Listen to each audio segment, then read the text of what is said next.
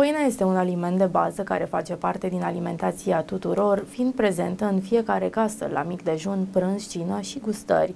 Este fără îndoială un aliment pe care îl poți valorifica în multe feluri și este de asemenea foarte hrănitoare. Pâine albă integrală de secară de cereale crocantă, albă spongioasă, rotundă, lungită, pită, fără gluten, de porumb, de orez. Astăzi există o gamă foarte variată de pâine cu diferite arome, forme, dimensiuni și texturi, care vor încânta pe oricine, mai ales pe iubitorii acestui preparat. Noi îți spunem care este pâinea care îngrașă cel mai mult dintre toate cele care se găsesc în prezent pe piață, pentru ca tu să ții cont de acest lucru și să optezi întotdeauna pentru opțiuni mai sănătoase. Ei bine, cea care îngrașă mai mult este pâinea albă, apă, deoarece făina se transformă în zahăr imediat ce intră în contact cu saliva, ceea ce face ca carbohidrații să se transforme rapid în glucoză, care este absorbită în sânge într-un timp foarte scurt, făcându-te să te îngrași mai mult. Orice pâine albă îngrașă mai mult decât orice alt tip de pâine făcut fie cu făină integrală, de ovăz, de secară, de porumb. Întotdeauna este mai bine să alegi pâine făcută din făină integrală, în cel mai mare procent posibil. Ideal ar fi să cumperi un produs de panificație 100%